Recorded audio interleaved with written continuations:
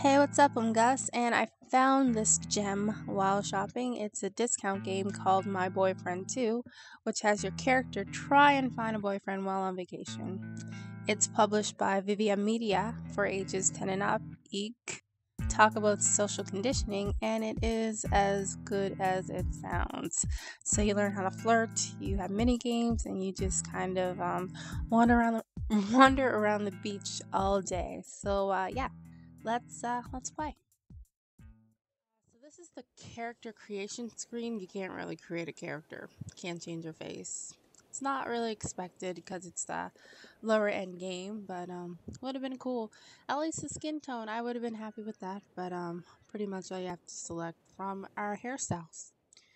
Um so yeah let's make her a redhead because redheads are awesome. Oh and i even get to pick what my dude looks like Okay, his name is going to be Dude, and I'm gonna make him look as comical as possible. So he's gonna have that kind of hair. Uh, for his swimwear, of course, it's gonna be the tidy whities. Oh no, is that even tighter and wider? Nope. These ones. We're finally here. It's gonna be an awesome vacation. I can't wait to get to the beach and enjoy the sunshine. This is my friend Vanessa. Hey, did you unpack your bikini yet?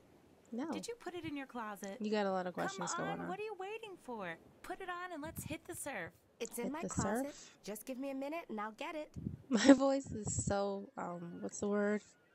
So like uh, attitude problemish without calling myself the B word.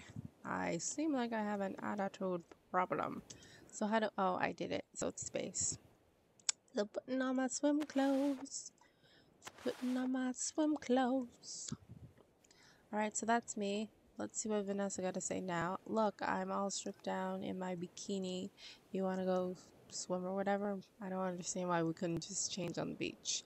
But whatever, woman. Whatever. Oh, wow, you okay, that look worked. great.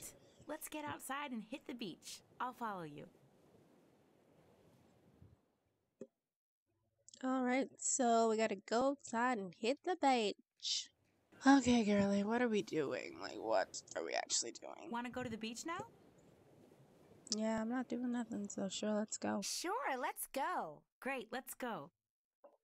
Didn't I just say let's go? Okay, so if you can see in the corner, like the right-handed corner, I have needs, just like the Sims. Oh my gosh, but they're different because they're not necessary. So food, relaxation, fitness, beauty, and sociability. There's actually other needs. So when I bring, if I can find my mouse, oh there it is. I'll bring those up too. So we have intelligence. Okay, I'm kind of slipping. Emotional intelligence. That'll be done quickly. Willpower. Like, why do you need willpower? I would. I, I'm curious. Like, why I need willpower. Style. Clearly, she's all styled up. Uh, humor. Okay, that's weird. Coolness is even weirder. And romance. That'll be maxed out before you know it. All right. That'll be maxed before you know it. So I'm walking pretty slow. I learned from previous plays that you can press shift to run. Oh my gosh, and I also learned something very cool. Um, if I can find it. There's something over here.